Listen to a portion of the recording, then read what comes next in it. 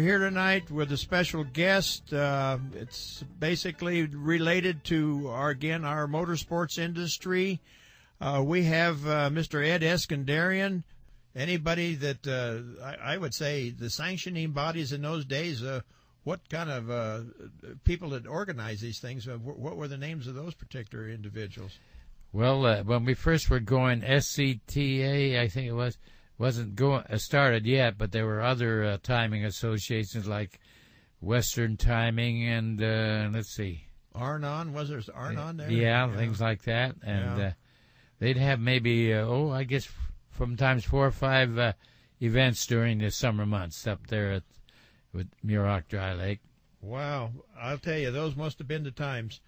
then when you got involved with the grinding cams, you were finally finally starting to sell those, correct? Uh, yeah. Well, luckily, uh, that uh, when the Hot Rod magazine came out, I put an ad in there, a two-inch ad, five dollars per inch, and uh, by golly, it got back to North Carolina, and uh, they called up and ordered two by airmail, and I only had one profile, I that noisy one I was telling you about, and uh, they start buying more of them. Uh, they were only twenty dollars for the grinding and two dollars for a used core, but they wanted new cores at seven dollars a piece, and they were uh, boy, these were nice to deal with these fellas. And I often wondered, uh, do they know I'm a beginner, or maybe they don't care, or they're willing to buy anything and try anything from anybody? And it turned out that they or- reordered and reordered real good, it it turned out that my cams would pass cars on the track. The mid range was real strong because of that snappy fast action, and uh, it didn't peter out on the top end. It uh, had good power on the top end too, and that's the reason they liked them. Well, my understanding of uh, selling cams down in South uh, didn't uh, those guys uh, race on Sunday and run moonshine on Monday? Is that the deal? Uh, yeah, some of them probably did, and uh, we we were lucky we started out with a flathead. It was a very simple, lightweight valve train, valve train, and we could abuse the uh, uh, the way of that fast, slappy action. You couldn't do that later on on the overhead valve engines, but uh, so what? Uh, what I was probably going to throw away uh, as just a, a playing around, you know, turned out to be a good cam. Did you open your first shop? When did you open your first shop, Ed? Well, it was in the garage at first, and uh, my friend had a little tool and die shop. Uh, that grinder I bought at the auction uh, had to have three phase power, so he let me put it in the back of his shop and pay him a little rent on a dirt floor, and and I paid seven hundred dollars for that machine, and did a million dollars worth of labor on that machine. Was, was that with uh, John Athens? Was that, that was John Athens? Oh, had okay. his partner Ray Lipper, who uh, is the father of uh, the other Lipper who makes the the uh, wheels, the centerline wheels. The custom yeah. centerline wheels, correct? Right. Yes, I remember that you guys shared that story with me back then about Ray Lipper uh, making custom wheels, and uh, that also was an interesting story there.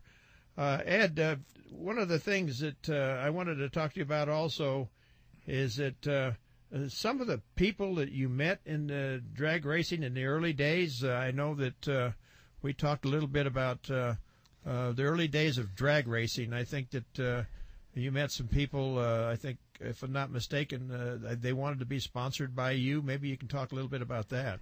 Uh, well, we would help some fellas out. You know, they didn't have much money, and we'd maybe make grind them a free cam, or and sometimes more than that. and later on, even Mickey Thompson came to see me Oh, I must have been an interesting story there. Yeah, he had already gone uh, about 270 miles an hour at the Bonneville with a twin-engine Chrysler car, and uh, he got the idea. Well, maybe I could go 400 if I had four engines. And he came to me and said uh, he'll need some help. He'll need uh, two spare engines. That'd be six engines. He'll need six roller cams and springs and push rods and tappets and so forth. He'll need uh, four uh, Hilborn fuel injections, I'll have to pay for those. Buy them from Stu Hilborn. He'll need four magnetos from Joe Hunt, and boy, and uh, and I'll uh, and that'll be it. I won't have to give him any money, just all these parts. Well, Ed, listen, we're going to take a commercial break here for a moment. Uh, we have a guest in studio guest with us this evening. His name is Ed Iskenderian, and he was telling us uh, some stories here about uh, some of the people that had come to him uh, to uh, uh, want to get parts sponsored by him. Ed, tell us about Mickey Thompson a little bit here. Well, I was surprised when Mickey Thompson came to see me, and he wanted to build a car that'll do over 400 miles an hour, and he's going to use four Pontiac engines. And he had uh, he was uh, quite a promoter and uh, had quite a lot of enthusiasm and some bluff, but and the main thing he had was uh, Fritz Voigt as a crew chief and mechanic, and uh, he had gotten in with Knudsen uh, uh, at Pontiac, and uh, he he got these free engines, and and uh, so this was a factory deal. In it sounds like to me. If he, if he uh, well, got... yeah, he was getting some help from Pontiac, all right, and and uh, so uh, he wants me to furnish him. Uh, there'll be uh, two spare engines, so that'll be six engines altogether. six roller camshafts and kits. That'd be the springs, push rods, tappets, and so forth. And he, and I'll have to go to Still. I'll have to buy from Still Stu Hilborn four fuel injection systems uh, and pay for that myself and give it to him. So, what did you think about that kind of a deal? First time somebody come to you and wanted to promote a little bit from you. Well, with his enthusiasm everything, I, by golly, I fell for it, and had to buy four magnetos from Joe Hunt also, four Scintillas, and oh, then the other thing is we got to pay Fritz Voigt uh, 250 each for uh, six engines to be built. Well, he was, was, so he was the engine builder then for Mickey Thompson. That's right, and uh, quite an asset to have Fritz Voigt working on you with you. How did how did you test these things? Uh, did you have? Oh, uh, talk to me about that a little bit. Oh, I had a, bought a dynamometer, and I said it'd be good to have this portable because it makes a lot of noise. And anytime any of my customers uh, want to run their engines, they could take this. Uh, Bill Walker put it on a trailer for me, and you could take it out in the country and run your and the engine test your engine, you know, without bothering anybody. So this is just what Mickey needed because he had to dyno these engines. Was this a, a Clayton dyno or is it? Uh, what was a GE? Oh, yeah. I see. Okay, electric or uh, uh, water brake? Water yeah. brake. Okay, sure. So he took it over to Fritz Voigt's uh, shop, and the report to, came back to me. You know, uh, you messed up on these uh, reverse rotation engines. They only put out uh, 300 foot pounds of torque, whereas the uh, normal rotation puts out 400 foot pounds of torque. Well, I better go over there. Where are they? Uh, well, we're over at Fritz Voigt's. So we went over there, and uh, I saw that he didn't have enough water from his garden hose. He had to use uh, the garden hose from uh, the uh, induction hardening company next door, and another one from the other neighbor. This is for the water brake, right? Yeah, three oh. hooked together to get enough water. But I noticed, uh, finally, I noticed. Wait a minute.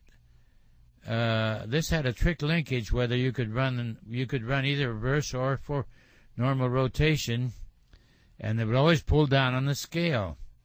And it was sitting there, and there was 50 pounds of torque on the scale, and it hadn't even been running. That was normal rotation. So I said, and I blurted it out. Hey, there's the trouble. You got 50 pounds of false horsepower for normal rotation, and you got to make in reverse rotation. You got to make 50 to get to zero. So you really uh, both engines are 350, only 350 each. And uh, you know who was there? The spark plug man, Dick Jones and he took that discovery away from me. He talked more about it. It became his idea afterwards. Was he the champion guy, or he was the champion spark plug? That's uh, who I thought he was. Yeah. Right? Yeah. So uh, from then on, I says I'm not going to blurt out things like that. I'm going to first test everybody to see if they know the answer first.